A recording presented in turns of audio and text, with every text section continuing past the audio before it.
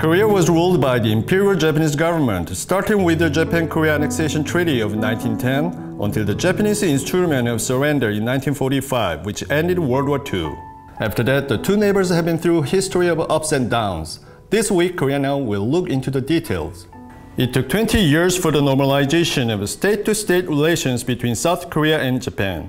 The Treaty on Basic Relations was signed in 1965, and Japan provided South Korea with 500 million US dollars in grants and loans, which sparked many Koreans' opposition to the pact because it did not contain an apology from Japan for its colonial occupation. After the normalization, the comfort women issue emerged as the source of disputes between the two neighbors. In 1993, then Chief Cabinet Secretary Yohei Kono issued a statement recognizing the military's involvement in establishing and operating comfort stations for the first time. It was a landmark apology of Japan's sexual enslavement of Korean women during World War II. On the basis of Kono's statement and Murayama's statement in 1995, then South Korea President Kim Dae-jung and Japanese Prime Minister Keijo Obuchi announced a joint declaration in 1998. The two leaders pledged to overcome the past and build new relations.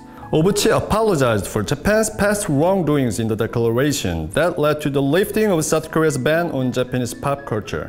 And likewise, South Korean pop culture like TV drama series spilled into Japan, which became the origin of Hallyu or Korean wave. However, the relationship has deteriorated due to many disputes such as comfort women and forced labor issues. The previous administration of impeached President Park Geun-hye signed the agreement with Japan in December 2015 to resolve the comfort women issue finally and irreversibly for forward-looking bilateral ties.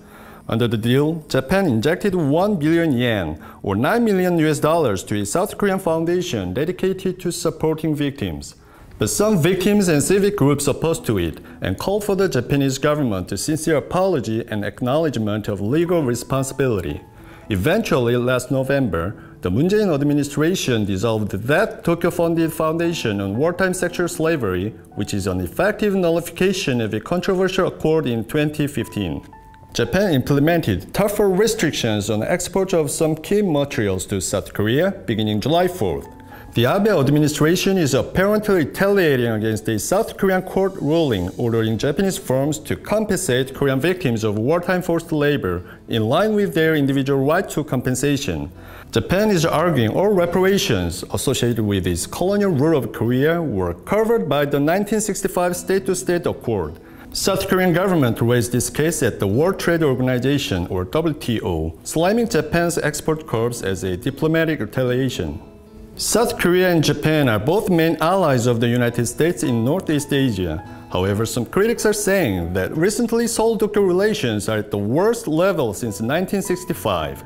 What are your thoughts on this? Please let me know in the comments below and thank you for watching Korea Now.